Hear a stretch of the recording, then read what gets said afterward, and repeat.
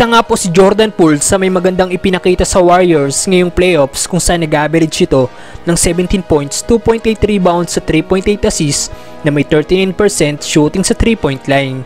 Nagpapatunay lang na isa talaga ito sa mga young promising combo guard na meron ng liga.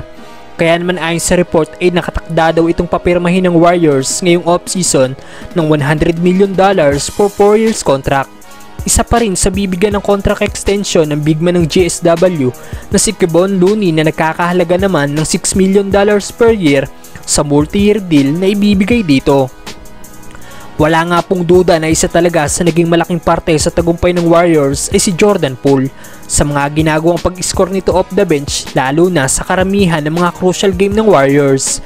Malaki ang chance sa mag back to back ang Warriors nito mga brother kung mapapanatili nila ang mga core player ng team at makakuha pa ng ilang solid na free agent. Anong masasabi nyo dito mga brother?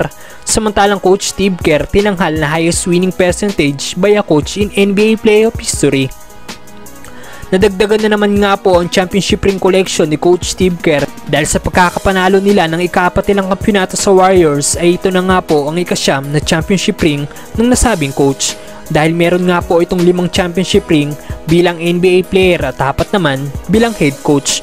Mukhang kukulangin ng mga daliri ni Coach Steve Kerr sa kamay mga brother para maisuot ng kanyang mga ring sa hinaharap. At sa pagkakapanalo nga din po ng Warriors sa Boston Celtics ay may record na nga po ngayong 22 win at 2 losses sa playoff series si Coach Steve Kerr at siya na nga po ngayon ang highest winning percentage coach sa playoffs history. Grabe din talaga ang naging achievement ni Coach Steve Kerr mga brother at Gary Payton II pinabalik pala ni na Steph at Draymond Green. Isa nga rin po sa naging solid player ng GSW sa kakatapos lang na season ay si Gary Payton dahil maaasahan nga po ito ng team lalo na pagdating sa depensa. Pero hindi natin alam na sina Green at Step pa lang dahilan kaya binigyan ng kontrata si Payton ng GSW. Dahil matapos ang 10 days contract nito last season ay nakala ni Payton na hindi na siya bibigyan ng kontrata pa ng Warriors at babalik na lang sana sa pagiging video analysis. Pero sinigurado nga po ni na Step at Green na mabibigyan ng kontrata si Payton dahil sa nakita nilang potensyal sa anak ng Hall of Famer. Kaya naman tinawagan nila Green at Step ang GM nilang si Bob Mayers para sabihing ibalik si Payton dahil sa potensyal na meron ito. Nakita naman natin na hindi talaga nagkamali si na Green at Step kay Payton mga brother, kaya naman posibleng pabalikin pa rin nila ito next season.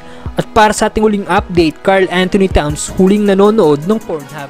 Habang nagla-livestream nga po ng game ng nilalaro niya, ang big man ng Wolves na si Carl Anthony Towns ay napunta nga po ito sa site ng Pornhub. At ilang segundong napatingin sa nasabing site hanggang sa na-realize niya na naka-livestream pala siya kaya dali-dali niyang ibinalik sa site na pinaglalaruan niya. Hindi naman natin masisisi si Towns mga brother dahil tao lang ito.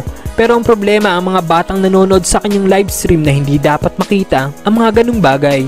Anong masasabi nyo dito mga brother?